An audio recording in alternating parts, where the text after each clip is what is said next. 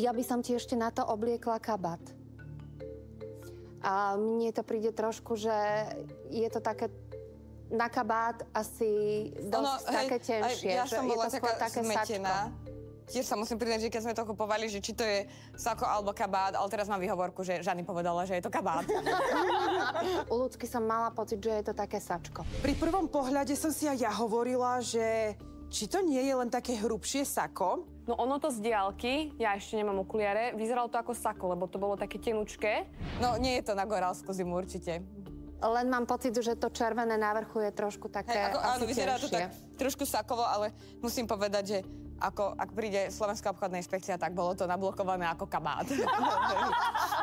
Mne sa to páči. Ako sa tak na vás pozerám, tak vidím, že každá z vás dodržala tému. Čo ako napriek tomu, že tá téma je každý týždeň zadaná, tak e, nie úplne každá nakupná maňačka to zvláda, takže vás za toto chválim. A Lucia, tak e, ty si očividne pochopila, že farbou náš zaujmeš. Veľmi pekne e, si to vrstvila, to ťa určite chcem pochváliť. Páči sa mi, že je to tiež také odvážne, že dať si vzorovanú košelu, na to modré sako, na to červený kabát, takže za odvahu ťa určite chválim. Vytknem ti ale doplnky. Náušnice super, ale opasok, kabelka a topánky mi do toho úplne nejdú. Uh, mne osobne, napriek tomu, že ja dnes kombinujem akože zlatú s červenou, tak mne by sa k tomuto outfitu, k tej modrej farbe naozaj páčilo, keby máš na sebe najmä strieborné kovy.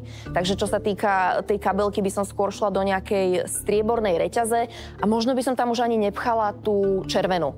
Uh, takže tie doplnky si viem predstaviť, že by mohli byť ešte trošku lepšie zvládnuté, ale určite ťa chválim, že si pracovala s farbou a použila tam ten vzor. A napokon Lucia s dilemou, je to kabát, nie je to kabát.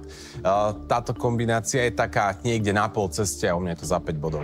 Lucia nám ukázala nesmierne odvážny farebný outfit. Mne sa najmä páči, ako pracovala s tou košelou a vrstvením. E, Naozaj to za mňa veľmi pekne vypálilo. Slabou časťou jej outfitu však boli doplnky a preto do mňa získava 6 bodov. Úplne nesúhlasím s Eminou kritikou, pretože viac verím ohľadom mody Žanetke ako Eme.